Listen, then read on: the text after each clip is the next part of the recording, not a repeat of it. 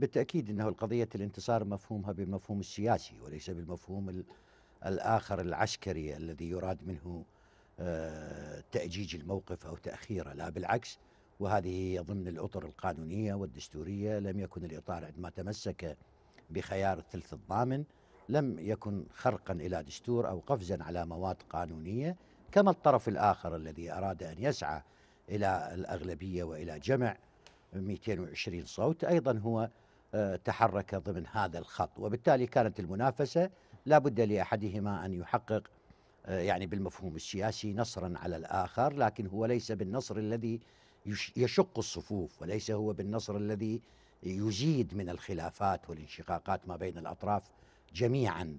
لذا نعتقد أنه اليوم الثلث الضامن أص- أصبح واقع حال على المعادلة السياسية العراقية وهي رسالة إلى كل الأطراف السياسية بأنه لا مناص عن الحوار ولا بد أن يكون الحوار هو اللغة السائدة التي تجمع كل الأطراف والشركاء والفرقاء السياسيين فيما بينهم. إذا كانت النوايا تتحرك نحو عملية جديدة وإصلاح سياسي جديد فلا بد أن يمضي هذا ضمن الحوار ولا يمضي ضمن الإقصاء والتهميش أو إبعاد طرف من حقه أن يختار طريقة الحكم وطريقة ال- الدخول في الحكومة أم لا.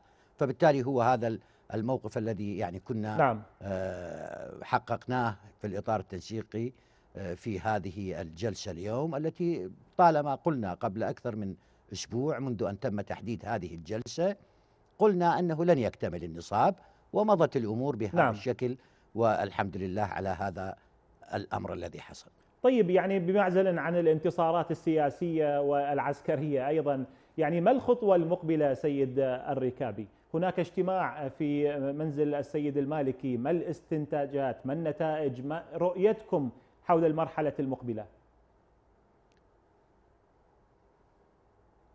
يعني قد تم الإعلان مباشرة بعد الانتهاء وبعد رفع الجلسة اليوم. تم الإعلان من قبل الإطار التنسيقي على أنه مستعد للحوار ودعا كل الأطراف إلى الحوار سواء في تحالف إنقاذ وطن الثلاثي آه، أو آه، حتى التيار الصدري بشكل خاص كونه هو الطرف المعني من هذا التحالف آه، مع الإطار بخصوص اختيار رئيس الوزراء الذي هو من المكون الشيعي. وبالتالي الحوارات هي التي سوف تنطلق ومن الممكن أن تبدأ منذ الساعات ال- ال- من- منذ هذه الساعة أو ال- آه، بعد ساعة أو ساعتين تنطلق هناك لقاءات ويوم غد أيضا يتم هناك لقاءات أخرى ما بين الأطراف جميعا وقد يتم التزاور حول الحصول على الوصول إلى حالة توافق وتفاهم أنه الجميع اليوم أمام مسؤولية كبيرة.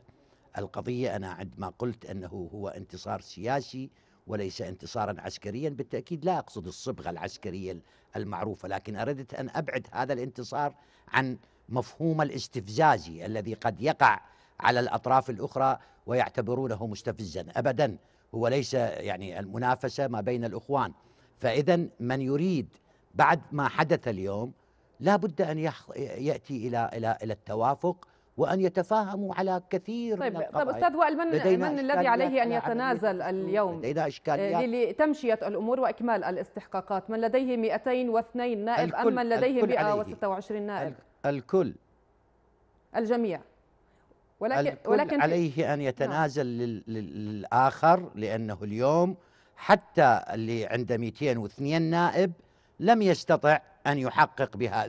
لو حصل على 218 نائب لم يستطع أن يحقق ما دام هناك جهة سياسية تستطيع بهذا الثلث الذي تمتلكه أن لا تجعل لل- لل- للجلسة أن تمر هل نبقى بهذا الحال؟ لا لا بد أن الجميع يعترف بأنه لا مناص لأحدهما عن ترك الآخر وبالتالي لا بد أن تلتقي الأطراف جميعا لكي يشرعا فعلا في تشكيل حكومة تحقق للمواطن ما يريد أما أن تبدأ ب يعني تبقى مظاهر ال ال يعني العنجهية ومظاهر الإقصاء ومظاهر عدم القبول بأحدهما للآخر بالتأكيد هذا موقف يعني غير منطقي وغير صحيح ولا يوصل إلى نتائج آه، ترضي المواطن يعني عندما تشكل نعم. جاءت هذه الانتخابات المبكرة يفترض ليست من أجل أن فلان يحصل على كذا مقعد وفشين من الكتل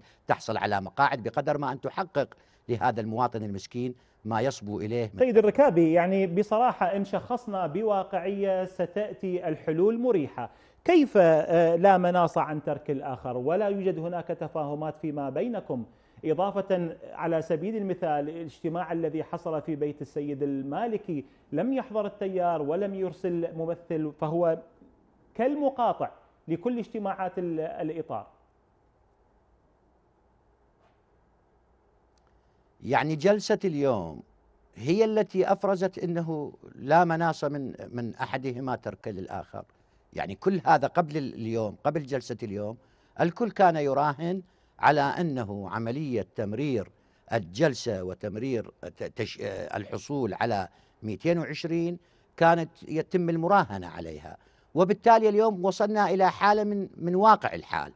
هل سنقف أمام هذا النصر بالنسبة إلى الإطار وأن يبقى يتباهى بهذا النصر وواقف مكتوفي يعني مكتوف الأيدي دون أن يتقدم خطوة إلى الأطراف الأخرى؟ بالتأكيد لابد أن تكون هذه الخطوة أن يتقدم. وكذلك الطرف الذي لم يستطع أن يجمع ال 220 هل يمكنه أن يبقى مصرا على موقفه دون أن يتحرك إلى الطرف الآخر.